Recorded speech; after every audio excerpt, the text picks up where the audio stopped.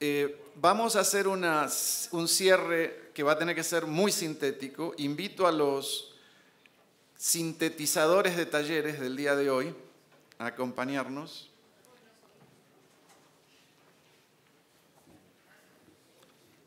Van a tener que ejercitar su poder de síntesis. Entonces, yo creo que los cinco minutos que iban a tener se transformaron en tres.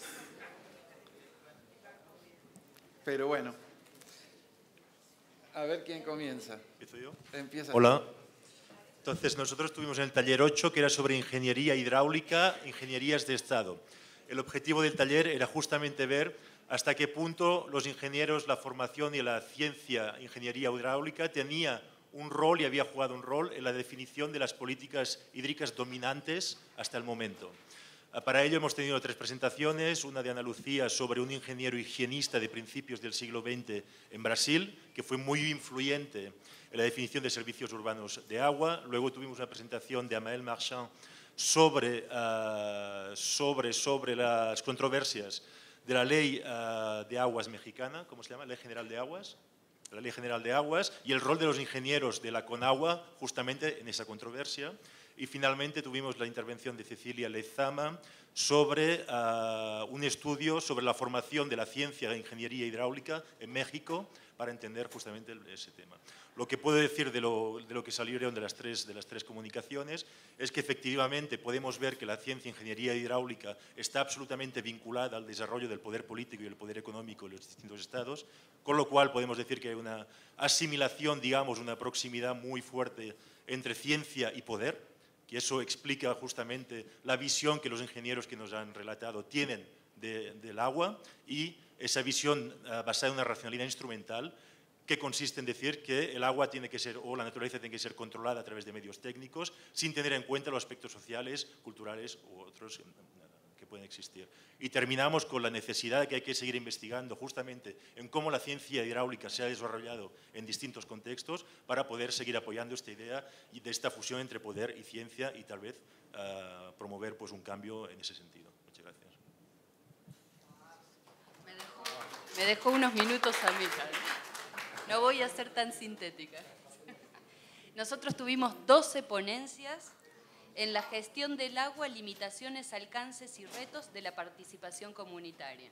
Con lo cual no voy a ser muy justa con todos y voy a tratar de decir algunas líneas generales. En términos de las presentaciones de investigaciones de casos sobre gestión comunitaria, se puede decir que lo que hemos descubierto es que los desmantelamientos de las organizaciones e instituciones sociales se están dando y se continúan este, sucediendo y en reemplazo el, el, Estado no ha puesto ninguna institución. O sea, se desmantelan las organizaciones de base y no se reemplazan por instituciones estatales. Por lo tanto, se continúa con el agotamiento y sobreexplotación de las fuentes este, y también contaminación. Por otro lado, tuvimos toda una serie de personas que hablaron sobre trasvases de cuencas de distintos este, mecanismos y lo que también estuvimos viendo es que no hay una forma de resolución, o sea, perdón, que la resolución que se ha dado, por ejemplo, eh, con las masaguas en el 2006 y con la presa de Arcediano y entre otras este, cuestiones, se han logrado frenar justamente, pero no hemos llegado a saber si tiene que ver con que son luchas por proyectos políticos rivales o realmente ha incidido la lucha de las personas en en esos lugares. Entonces, en ese sentido, todavía digamos, pertenece a la academia continuar instalando más investigación sobre eso. Luego tuvimos digamos, este, una cuestión más este, antropológica, si se quiere, acerca de la resolución. O sea, si el Estado no, hace formas y la gente no se desmantela lo que la gente está haciendo, ¿qué pasa entonces con la resolución al abasto de agua? Y tenemos entonces un caso en donde se mostró cómo la gente hace con, la, con el uso del agua, el reuso del agua, en cuestiones periurbanas. Entonces, final que la gente hace termina haciendo lo que puede con lo que tiene, como lo hemos visto en la película que acabamos de ver. Y finalmente una cuestión teórica también que comprende a la academia en sentidos de cuál es la racionalidad de las políticas este, del Estado implementadas e incluso, digamos, cuál es la racionalidad implementada en nuestras propias investigaciones. Apareció entonces una presentación que nos habla acerca de si es necesario o posible comenzar a pensar el tema de la emancipación digamos, de, este, como modo de lucha y como modo de organizar las políticas públicas. Final, digamos, no hay mucha discusión porque entonces se nos acabó el tiempo rápidamente, no hubo mucha discusión, pero me pareció interesante también una intervención de Alesia que pregunta, bueno, nosotros como academia, ¿con qué datos nos estamos manejando y cómo le hacemos o cómo le haríamos para construir nuestras propias bases de datos? Eso es lo que logré resumir. Y no sé si fui justa con todos.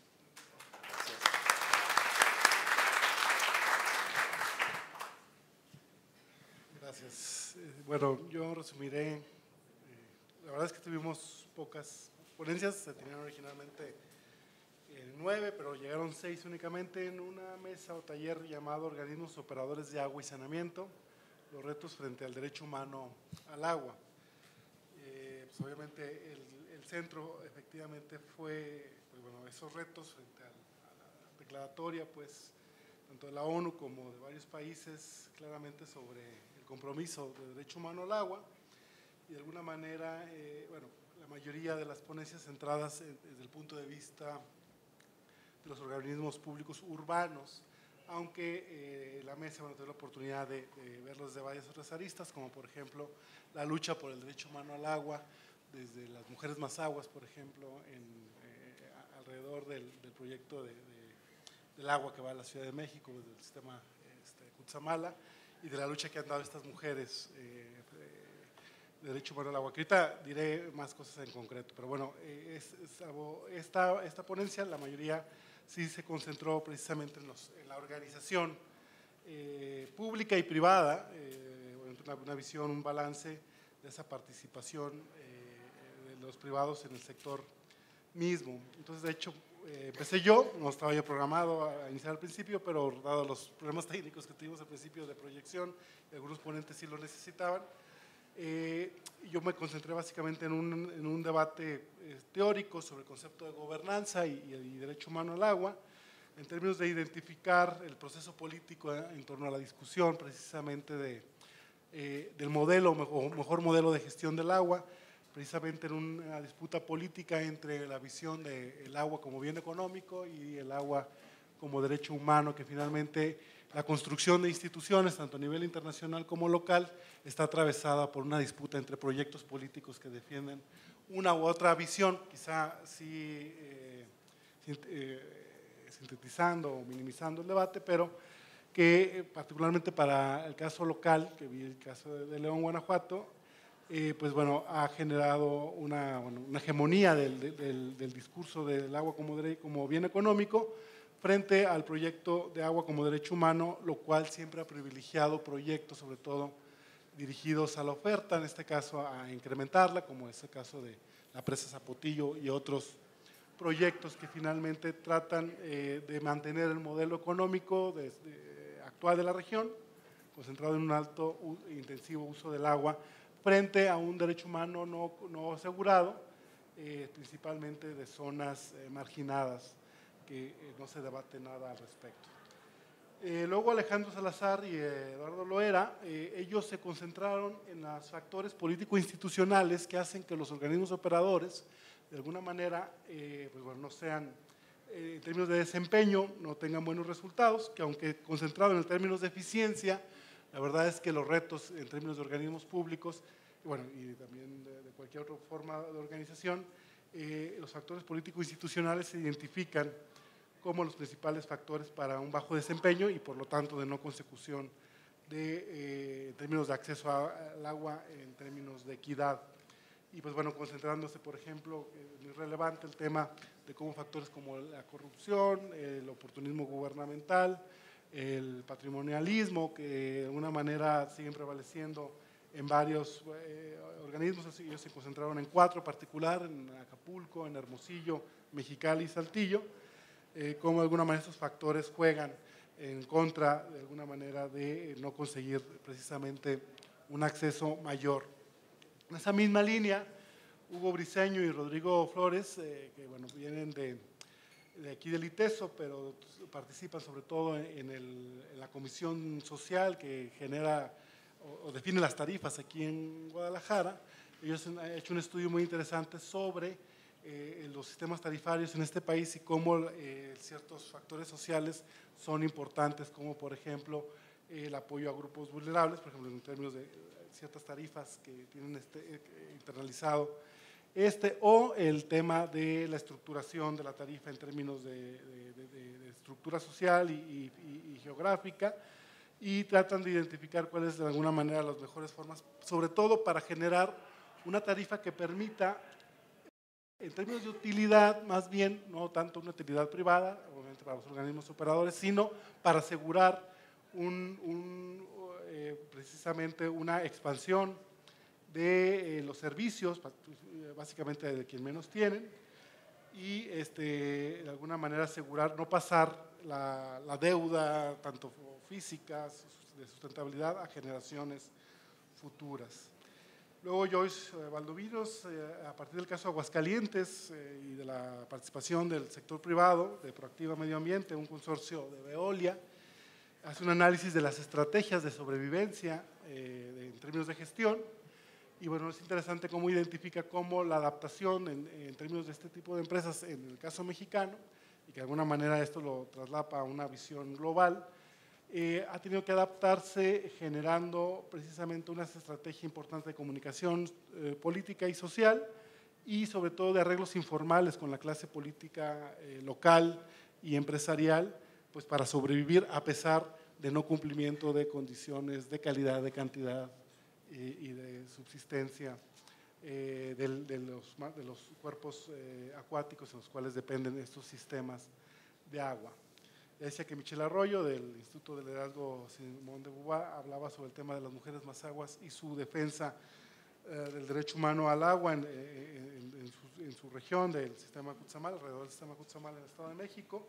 Y bueno, fue interesante de alguna manera la caracterización de esa lucha que eh, han generado precisamente estas mujeres para eh, defender eh, lo que en sus términos hablan de derecho humano.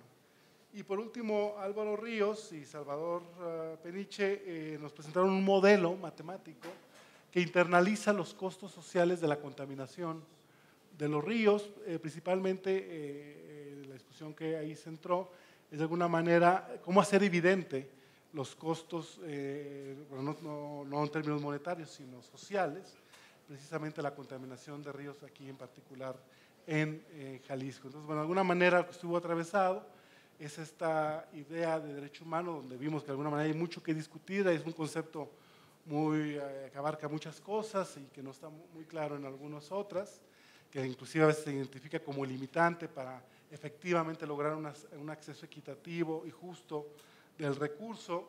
Eso es lo que de alguna manera sí lo vimos particular y cómo de alguna manera el discurso, la visión del agua como bien económico eh, y todos estos factores políticos institucionales que hablamos son los principales factores que nos ayudan a decir, por lo menos en este momento, eh, los retos tan importantes y difíciles para conseguir un acceso más, más, más equitativo del agua.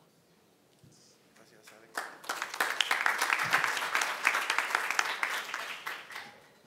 Bueno, este, voy a, bueno, tenía escrito algo, pero más bien para no este, extenderme la, lo que me tocó a mí resumir y espero no traicionar la, bueno, no más bien no o cometer errores en el resumen, eh, para sintetizar, la sesión fue del área temática 4 de aguas transfronterizas, desafíos teóricos aplicados para la gestión, cooperación envolviendo las aguas transfronterizas, que estuvo a cargo del profesor Wagner Costa Ribeiro de la Universidad de Sao Paulo. Ahí solamente se presentaron tres ponencias, las cuales estuvo una por el propio profesor Wagner, que fue la última, pero estuvo el compañero Gonzalo Hatch de la UNAM y Armando Gallo de la Universidad eh, Federal de Uberlândia de Brasil. En esto, en general, lo que se discutió, para no este, leerles todo este discurso que escribí, es en realidad lo que se discute es, un problema teórico y político con dos estudios de caso de la zona del Paso, Texas y eh, Ciudad Juárez en el Paso sobre la apropiación, ¿no?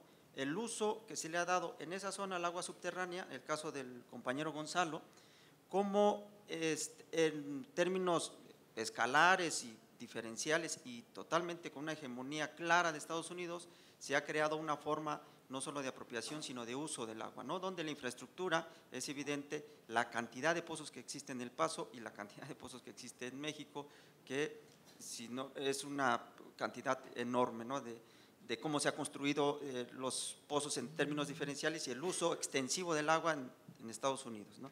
En el caso del compañero Armando Gallo, él lo que hace es discutir la cuenca del Plata entre Brasil y, este, y Argentina, ¿no? y entre, en esta zona fronteriza entre Argentina, Uruguay, Brasil, y en realidad lo que están haciendo, eh, lo que está haciendo es discutir desde el derecho, este, desde el derecho internacional, cómo los tratados en realidad responden a un interés político, este, donde los tratados, más que esta cuestión formal, lo que hacen es direccionar a un uso del agua con, directamente con, eh, al uso energético que tiene el interés de Brasil ¿no? por producir el, el, agua de esa forma para energía eléctrica, que en el caso de Argentina es lo mismo y hay una disputa. ¿no? Entonces el, el tratado gira en, esa, en ese conflicto.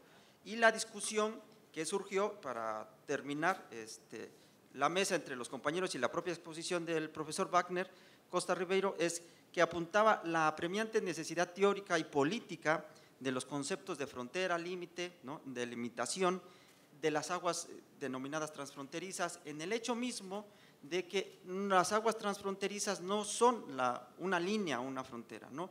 sino que habría que pensar, y salía en la mesa de discusión, por ejemplo, el caso de México como frontera, ¿no? todo el país en el hecho de cómo se ha recorrido no solo los intereses a través de los tratados internacionales de Estados Unidos y México, donde la violencia, el narcotráfico y el propio uso del agua corresponde ya a un interés hegemónico. Entonces surge la necesidad no solo de la discusión teórica y política, de, desde lo que el propio profesor Wagner Costa denomina hidrohegemonía, rescatando, él dice, una discusión que existe ya desde hace años de hidropolítica, ¿no?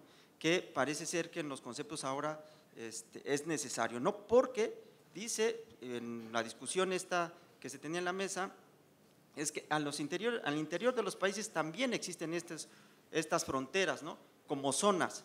Ahí había una discusión si era espacio, zona, territorio, ¿no? que como zonas que, por, por ejemplo, en el documental que se discutía en la misma mesa y que nosotros asistimos, veíamos cómo eso podría ser un ejemplo de un conflicto transfronterizo entre dos departamentos, ¿no? Entonces, en una zona transfronteriza en donde hay una hegemonía, ¿no? Ejercida una hegemonía. Entonces, eso se discutió y entonces también pensar, pensando en que cómo el movimiento social político, el de los propios vecinos, influyen en esos tratados invisibilizados, ¿no? que en términos de facto ¿no? y de jure son relegados, pero que en el propio conflicto se incorporan solamente por el propio conflicto. ¿no? Esta contradicción que existe en estos tratados dice puede ser esta cooperación de los propios tratarios, de los propios tratados pueden ser parte del mismo de la misma cooperación puede ser un mismo conflicto, ¿no? O sea, la cooperación entre dos países puede ser incluso que subsuma, podemos decir, a una colonia, a unos vecinos por encima del interés nacional o regional. Entonces, en términos, espero haber sido claro, en términos generales, es lo que se discute en estas tres ponencias que fue larga, que tuvimos que parar para venirnos al café y bueno, espero no haber sido claro con todos ¿no? y haber, no, haber resumido bien lo de la mesa. Gracias.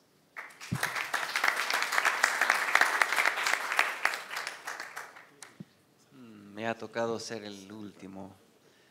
Me hace pensar en esos monitos de Charlie Brown, en que hablan los adultos y solo aparecen palito, palito, palito. Eso le está pasando en sus cerebros ahora, yo sé. Hablamos aquí, escuchan. Bueno, voy a intentar de ser sintético, pero traigo una mala sorpresa de que tengo que resumir dos mesas diferentes.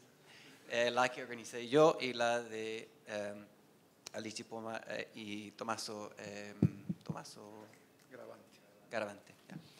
Entonces, empezando con, eh, con el mío, eh, era la primera mesa de, agua y megaproyectos y intentaba dar respuesta al tema, al temática de la reunión. Entonces, el título era Agua y megaproyectos y las falsas promesas del desarrollo, políticas públicas y respuestas desde la sociedad civil. Eh, y eso es efectivamente lo que discutimos. Em, Tuvimos seis eh, ponencias para decir algo brevemente sobre cada una. Eh, Verónica Ibarra de la, UNAM eh, presentó sobre, bueno, siempre nos acusan de incluir demasiadas cosas en megaproyectos, ahora tenemos otra cosa más, porque Verónica trajo el, el tema de la construcción masiva de viviendas en las zonas periurbanas como un ejemplo de megaproyecto. Un nuevo contexto para estudiar eh, las dinámicas de transformación territorial en un contexto no rural y normalmente los megaproyectos que exam- examinamos están en áreas rurales.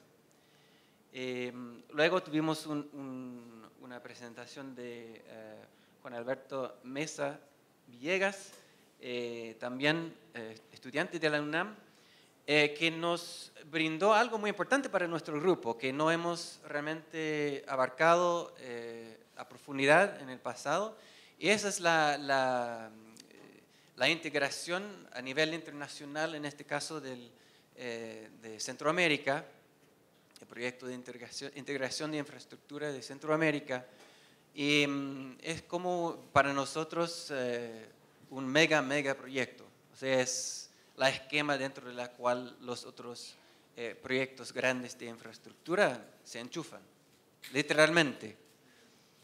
Eh, entonces fue eh, muy interesante eh, tener su visión de, de lo que está pasando en cuanto a esa iniciativa.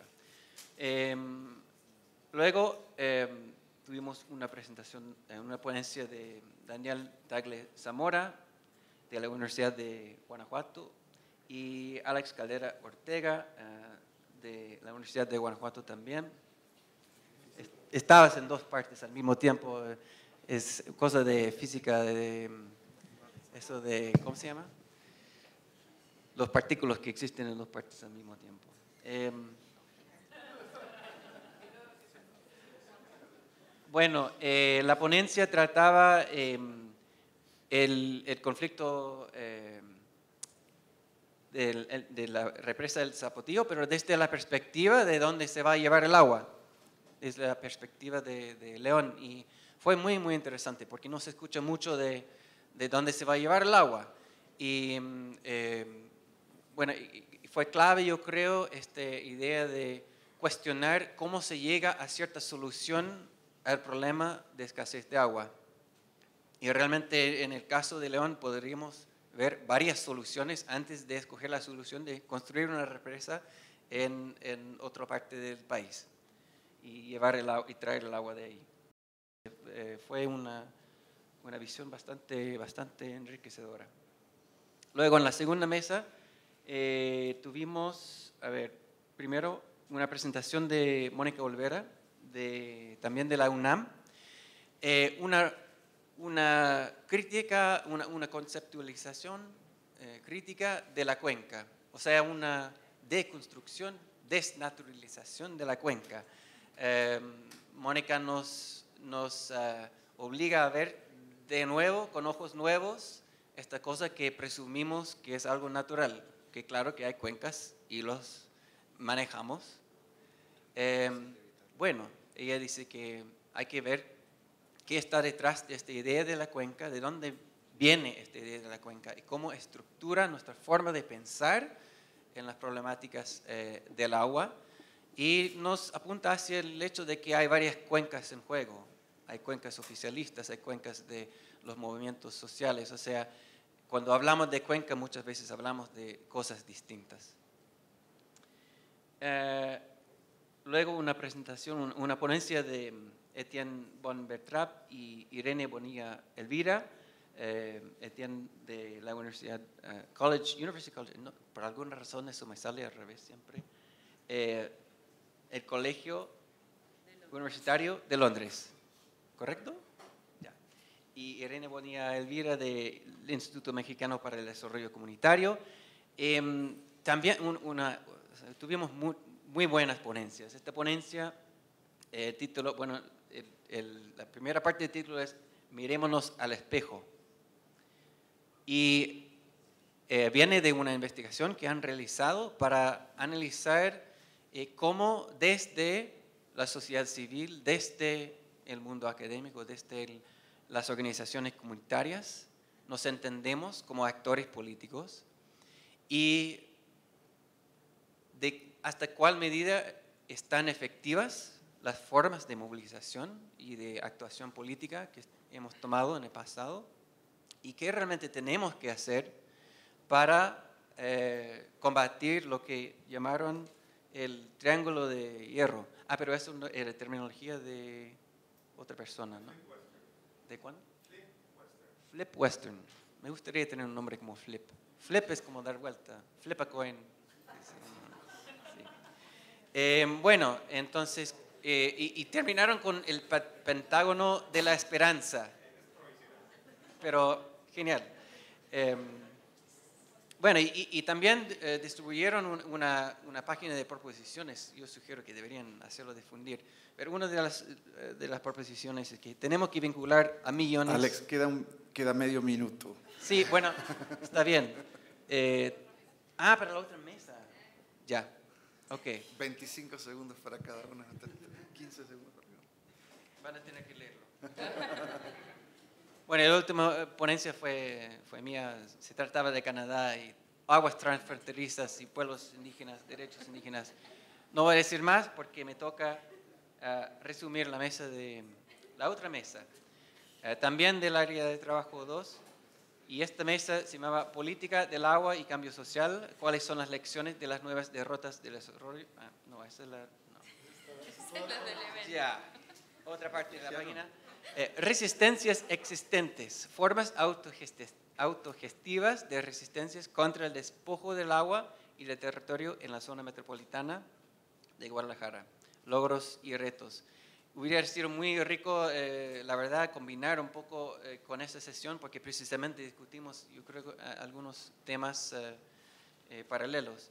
Em, bueno, y empezaron con la proposición, o sea, la, sí, la- premise, proposición de que el Estado se convierte en, el sujeto que promueve, las instalaciones y obras eh, para el despojo, reprimiendo y engañando con falsas promesas y negativas a quienes se oponen a ellas. O sea, reconociendo que el Estado realmente no es eh, en este momento ah, una respuesta a los problemas, sino es parte del problema. De hecho, es, eh, es el actor clave que, que, mm, que hace, que hace instalar el, el modelo económico y los megaproyectos asociados, etc.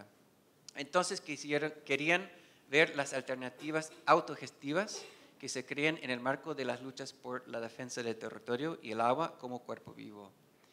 Entonces realmente eh, fue un taller. Entonces, bueno, no voy a leer la lista entera porque había muchas personas y tenemos poco tiempo, pero un taller de eh, activistas eh, de la sociedad civil ah, que llegaron a discutir en forma, eh, de lo que yo entiendo, una forma muy, eh, o sea, muy viva, porque es lo que viven y lo que eh, fue como una sesión cuasi académica, más, más que nada una sesión de darse cuenta como, eh, como mundo político, eh, reflexionar entre los actores en, en sus estrategias, en su forma de crear resistencias y en particular em, ver estas alternativas autogestivas que salen de sus trabajos. Entonces, ir más allá de la resistencia a cosas, sino ver dentro de sus mundos de, de activismo, dentro de sus comunidades, sus proyectos,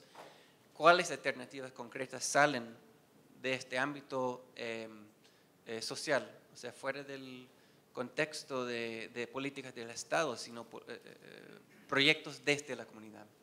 Y eso fue de lo que yo entiendo el, el- el contenido de, de esa sesión. Muchas gracias, Alex. Y muchas gracias a todos. Nos vemos en este lugar a las 9 mañana. Que pasen una buena noche.